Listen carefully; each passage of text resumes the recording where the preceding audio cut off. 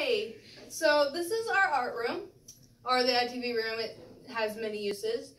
And um, we do a lot of stuff in here. Like we work with clay and oil pastels and stuff, and it usually leaves a big mess, the boys. And um, I did create an artwork, many artwork in here, but this one's my favorite. It's uh, Shinigami from a manga, which is like a Japanese like picture novel, and uh, it its name is Ryuk, and it's my favorite so far, and it's really good. And we have a lot of novice stuff in here,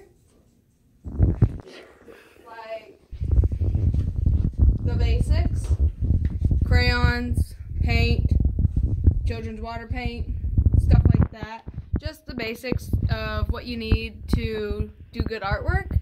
I mean, you don't really need like really, really expensive stuff to do artwork. I mean, we do rarely get like Prismacolor and stuff, but it's quite rare. We usually get like general, which I don't know if you Frenchies have that, but okay.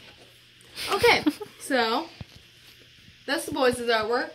Logan and, and Cole. They seem to have broken it.